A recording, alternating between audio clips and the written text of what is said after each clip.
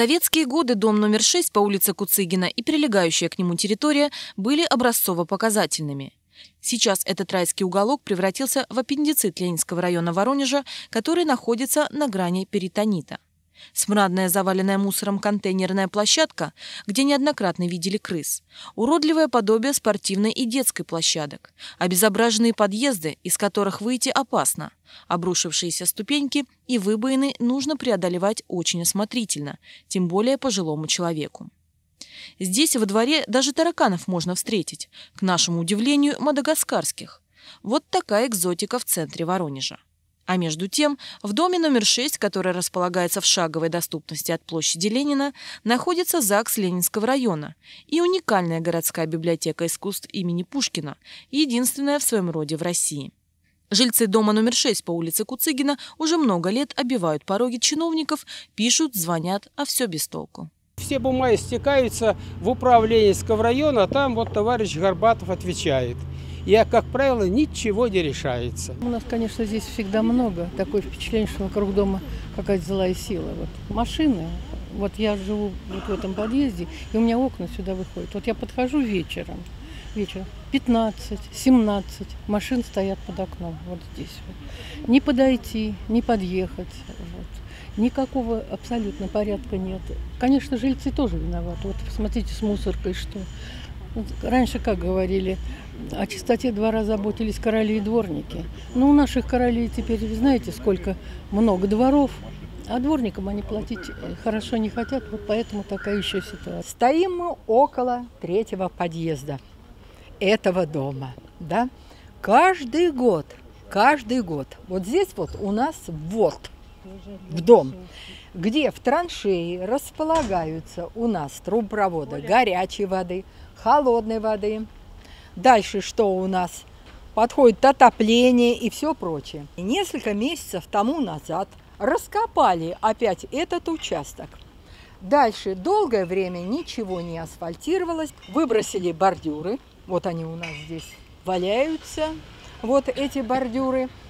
Долгое время вообще траншеи не засыпалось. Кто как мог, так и попадал в этот подъезд. Кто как мог. Вот сухие березы стоят, значит, так. С них уже и ветки падают, и сами не скорым временем, что падут.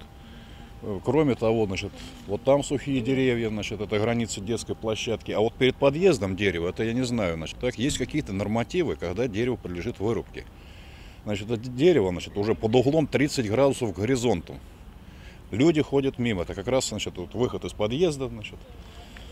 Когда это рухнет кому-нибудь на голову, значит, и будет трагедия. Сразу, значит, есть такая пословица «гром не грянет, мужик не перекрестится».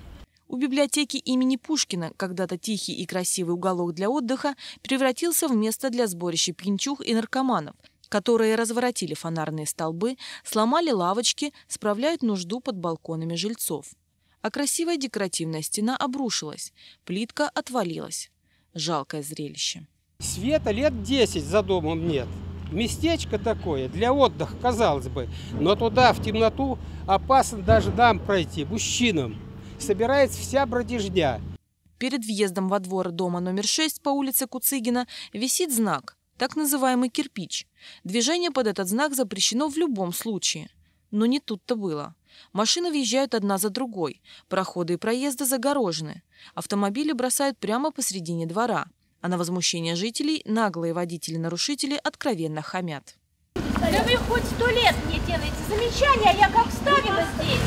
Наш первый этаж, ваше небо. Ладно, стой,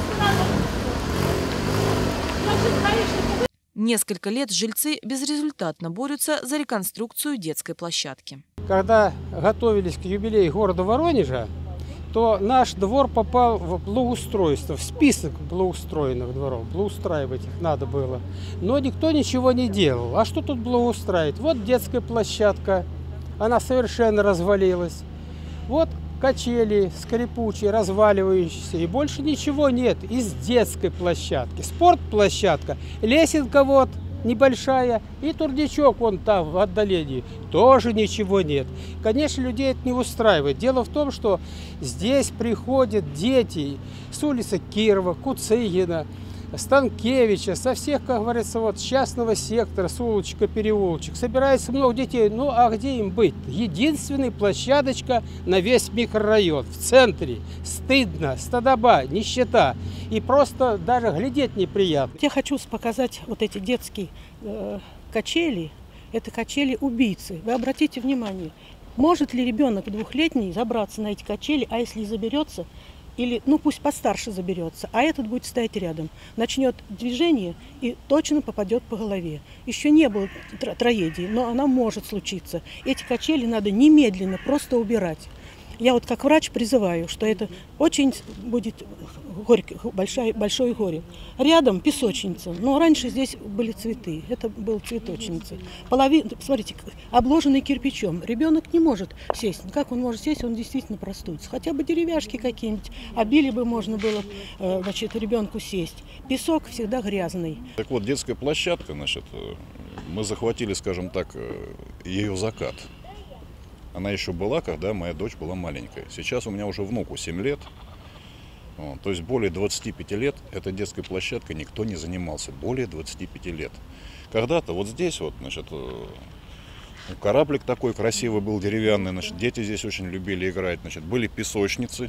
Вот это была клумба, теперь она стала песочницей. Была арка, э, были нормальные качели, была избушка здесь, значит, качели сейчас, вот вы, если обратили внимание, значит, когда-то заклинило подшипники вот эти, значит, их взяли, переварили поверх трубы, пустили вот эти трубы, значит, в итоге они стали выше. Жильцы многоквартирного дома номер 6 по улице Куцыгина всегда были политически активны, а сейчас доверие к власти у них на нуле.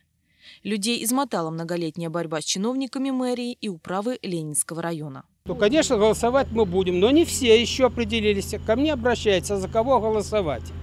Нам ведь надо избрать такого мэра, таких депутатов, которые бы были ближе к избирателям. И они нам помогали, и мы им помогали. Но у нас этой взаимной вот, взаимосвязи нет пока. Не могу ничем похвалить.